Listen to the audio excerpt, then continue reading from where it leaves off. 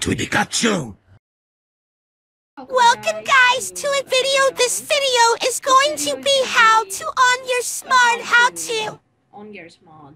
How to drop, drop weapons. Many people have been wondering how to drop weapons. Here is a so first you, you want to go tutorial. It's very simple. So first you would you want to go download want to download them both. There's actually two of them, so on to be on the safe side. When you have downloaded them, you want to do this. You want to download them both, and the links will be in the description. So when into advanced you have downloaded them. You want to do this. First, you want to get up to options. And put on the key, any key. Then go into advanced and then enable developer console when you have done.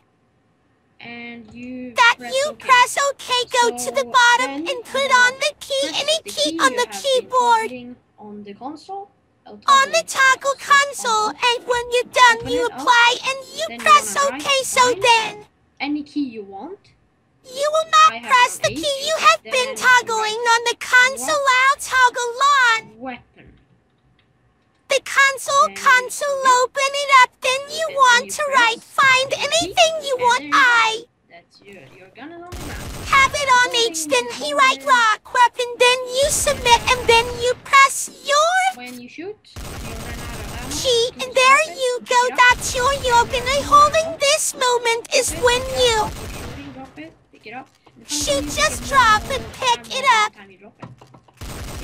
I know every time you go, you know often. So yeah, if you this video, if it helped out a lot, helped out a lot, please leave a like. And if you want more videos, please go and. So see you in the next episode. Subscribe so see you in the next episode.